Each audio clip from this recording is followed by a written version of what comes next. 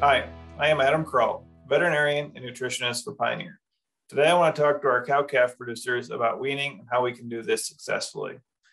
To do this successfully, we want to try to make as few changes to this calf's environment as possible. So having a place where our calves can, can go and eat ahead of weaning that will be where they were uh, eventually be weaned into is, is an ideal situation.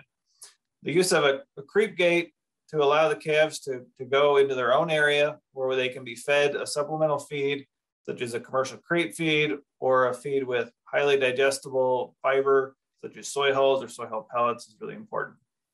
Another thing that can make weaning very successful is having a high quality alfalfa to wean our calves onto. Uh, this should be an alfalfa that is at least 20% protein and at least 180 of relative feed quality. It's important when we're looking for alfalfa to start our calves on that we really pay attention to relative feed quality and not just relative feed value.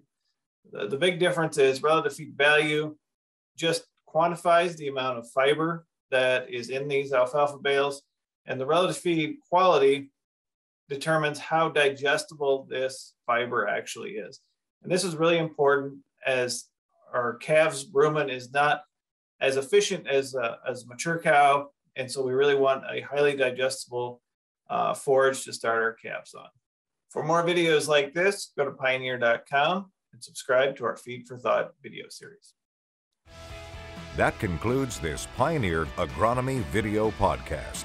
Visit our page on pioneer.com and follow us on Twitter and Facebook for more agronomy insights.